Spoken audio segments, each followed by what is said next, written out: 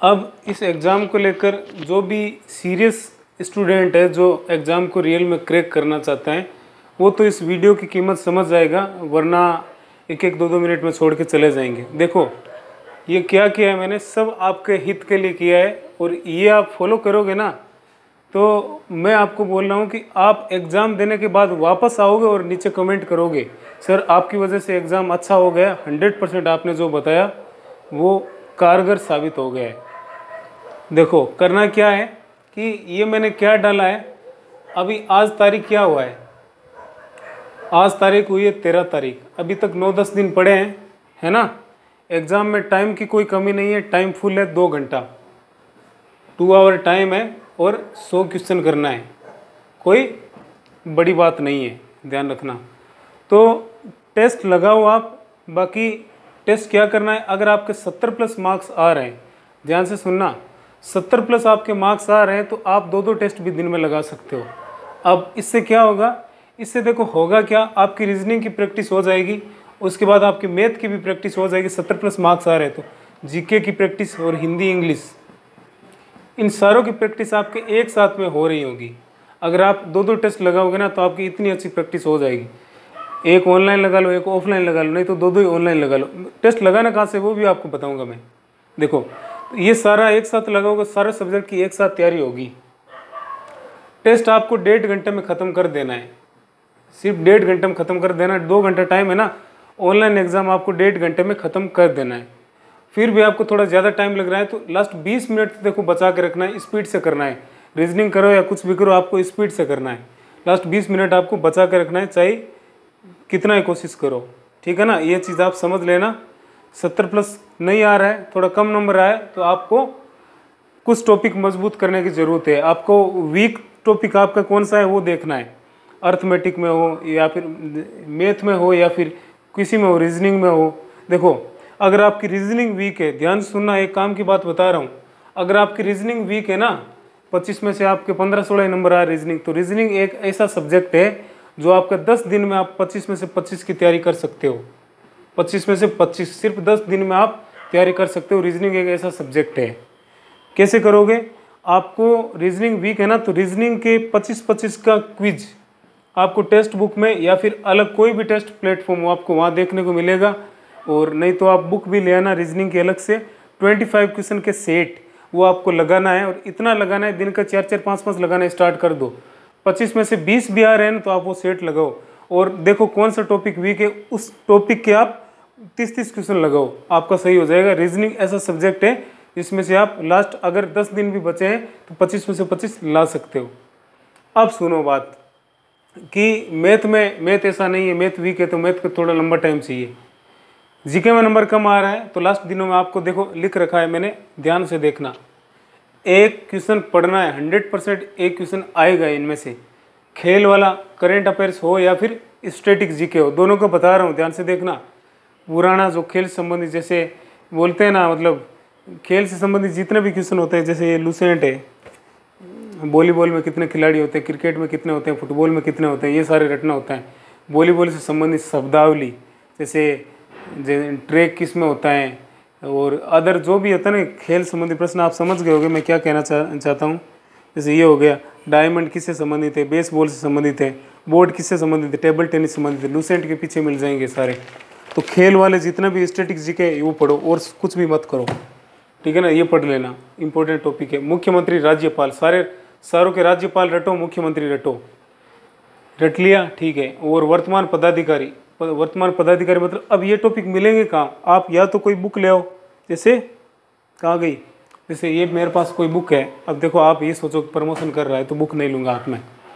कोई भी बुक ले आओ आप करंट अफेयर्स की जो भी इच्छा है, उसमें आपको मिल जाएँगे। नहीं तो आप है ना, इसमें यूट्यूब पे सर्च करोगे ना, वर्तमान पदाधिकारी तो सारे के सारे एक पूरा वीडियो मिल जाएगा, वो वीडियो कर लो, हो जाएगा।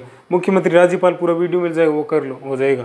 लेकिन बुक से पढ़ो अच्छा रहेगा, आँखों के लिए सेफ़ रहेगा आपके लिए इसमें, क्योंकि आगे मेडिकल भी होना है। अगर दिन में दस दस बारह बारह घंटा मोबाइल में, मोबाइल से पढ़ोगे ना तो फिर आपका ये वीक हो जाएगी, आगे मेडिकल में अनफिट हो जाओगे। ज़्यादा यूज़ करने, ज़्यादा मोबाइल वगैरह यूज़ करने से कंप्यूटर स्क्रीन मोबाइल यूज़ करने से। तो ध्यान रखना, किताबों से पढ़ो, सही रहेगा। वर्तमान पदाधिकारी ये कर लो, सूचकांक एक रिपोर्ट करंट अफेयर्स का टॉपिक है ये। ये पढ़ लेना यूट्यूब से पढ़ लेना, या फिर कोई बुक ले आना, वहाँ से पढ़ लेना। समान पुरस्कार, इसमें से ही आपको एक क्वेश्चन देखने को मिलेगा ही मिलेगा। दिवस और थीम इस दिन कौन सा दिवस मनाया जाता है, इस तारीख को कौन सा दिवस मनाया जाता है, योगा दिवस की थीम क्या थी, उस दिवस की थीम क्या थी तो ये सारा आपको पढ़ लेना है। एक क्वेश्चन दिवस का तो आपको पता ही है कि कितना इम्पोर्टेंट टॉपिक होता है। और पुस्तक और लेखक, ये तो देखो मिलता ही है, पुस्तक और लेखक। ये दो दो है ना, ये तो देख लेना आप, किसी न किसी शिफ्ट में। हो सकता है हर शिफ्ट में आए। पुस्तक एवं लेखक और दिवस एवं थीम प्रमुख अनुच्छेद आर्टिकल का एक क्वेश्चन आएगा ही आएगा, लेकिन कुछ इम्पोर्टेंट आर्टिकल होते हैं, सारे तो हम रटने से रहे, लेकिन कुछ इंपॉर्टेंट भी आर्टिकल होते हैं, वो आप यूट्यूब से पढ़ लेना प्रमुख। इंपॉर्टेंट आर्टिकल सर्च कर लेना या फिर प्रमुख अनुच्छेद ये सर्च कर लेना। युद्ध अभ्यास का एक प्रश्न आएगा इसमें सीआईएसएफ में क्यों? क्योंकि डिफेंस से रिलेटेड है इसलिए। फिर आपको क्या करना है?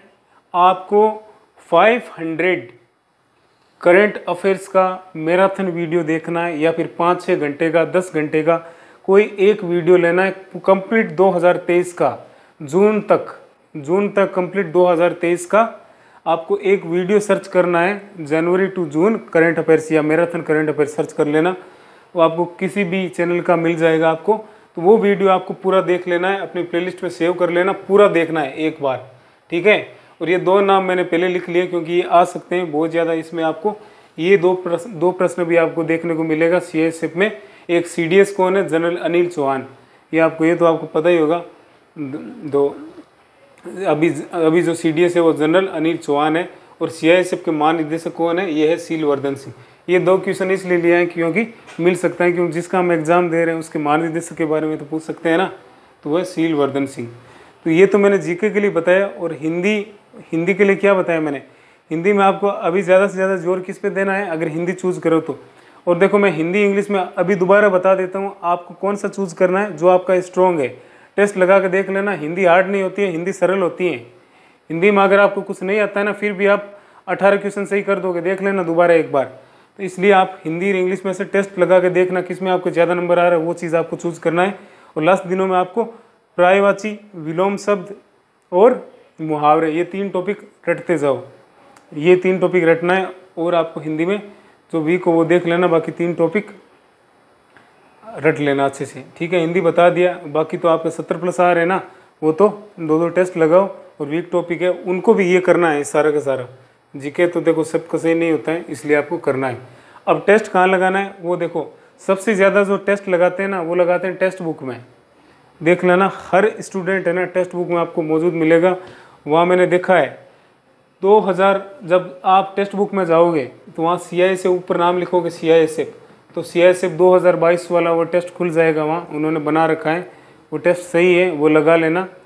तो वो लगाओगे तो साठ हज़ार स्टूडेंट वहाँ, पहला टेस्ट है ना, वो साठ हज़ार स्टूडेंट ने दे रखा है। तो इसका मतलब ये नहीं है कि साठ हज़ार कैंडिडेट अभी अवेलेबल है। वो 2022 वाले भी शामिल है उसमें 2019 वाले भी शामिल है, सारे के सारे है वो। ठीक है ना? तो और कोई ऐसे भी लगा देते हैं ITBP वाले लगा देते हैं B S F H C M वाले भी वो लगा देते हैं तो वो कैंडिडेट भी शामिल है। तो वो टेस्ट लगा लेना आप। उसमें अगर आपके मार्क्स देख लेना, आपको पता चल जाएगा। परसेंटाइल से पता चल जाएगा आपका कितना परसेंटाइल आता है नाइन्टी वन आता है। आपका मतलब साठ हज़ार में आपकी रैंक क्या है, ये सब भी आता है। तो आपको पाँच हज़ार के नीचे अगर आपकी रैंक रहती है, पाँच हज़ार के नीचे रैंक रहती है तो आप एकदम सेफ़ हो। बाकी छः हज़ार, सात हज़ार के नीचे भी रहती है तो सेफ़ हो।